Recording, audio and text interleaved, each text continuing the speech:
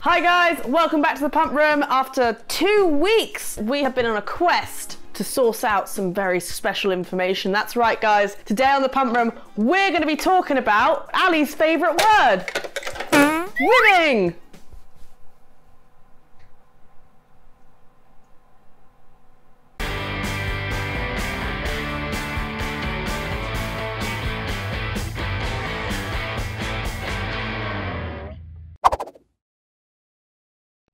Rim.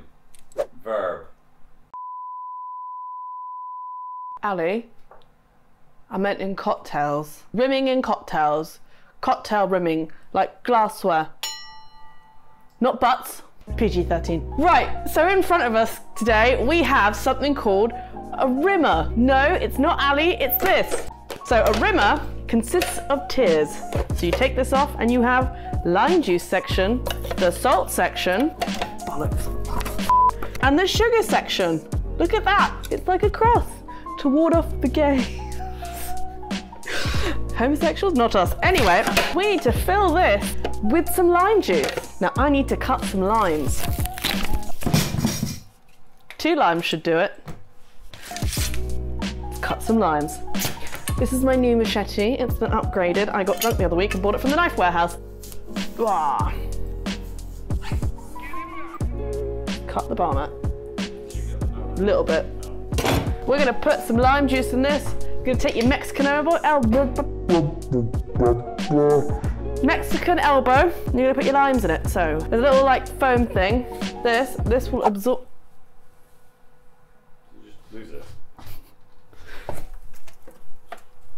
This will absorb the lime juice.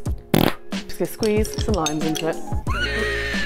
Let's see how absorby it is. So remember, at the end of every shift or every time you use this, you should clean this. Otherwise it's just gonna be gross and moldy. Right, so we're just gonna give that a little spin. Whee! Right, and then we're gonna put our next layer in. Salt. So you're just gonna pour, pour like you're a bartender. This is salt-free pouring. It's a really important skill that you must have. Cool. What do we talk about? So once that's done, we're gonna get our last little section. That's right, ladies and gentlemen. If can find it. Bollocks. How does this work? And then we're gonna fill this with sugar. This is my Trade Aid UK Pure Cane Granulated Sugar. It has a palm tree on it. A lemon drop uses like a sugar rim, doesn't it?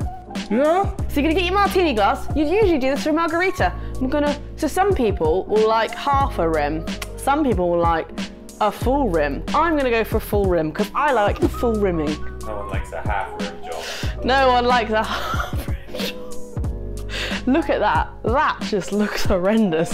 These are the kind of things you see at like a Spoons or a Greene King. Sometimes you'll see it in other bars. Do you think the Savoy uses something like this? You know what? I bet they do because you actually get a really good rim.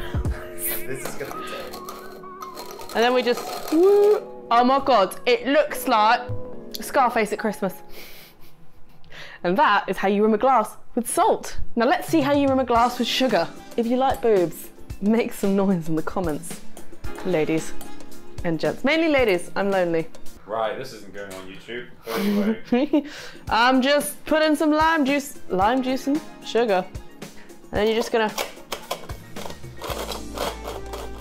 sounds healthy for glassware. it is healthy. So if you can hear that sound, that is the sound of pre-made cavities. And this is what a sugar rim looks like. Wow. And now, for your entertainment, we're gonna rim a shot glass. This is a shot glass. It's a glass in which you do shots with. Boop, boop, boop, boop, boop. I think lemon drops have a sugar rim. I know that jam donuts do have a sugar rim. Not, I don't really know many shots that do the salt rim. And this is a rim shot glass. Look how beautiful that is, babes. But if you work in a fancy bar, no one likes rimming on the inside. It's more of an outside thing to rim on. So they just kind of get rid of the inner layer of the rim. There are other ways that you can rim things. Another way is doing it by hand with a wine glass. And we just make it go round and then we just hold it this way and we get some sugar. Salt. I mean, we're gonna get some salt. And you can rim this way, which to be honest does not look as bad. That actually looks pretty alright. With this method, you don't get any salt or sugar if you're using either on the inside of the glass. It's just a rim. But with this method, you do get it on the inside of the glass. So with margaritas, I really like salty rims, so I like a big rim. But some people might not like much of a big rim. People don't like a big rimming, people like a small rimming. So they'll do like a half rim, because they're not really that into it.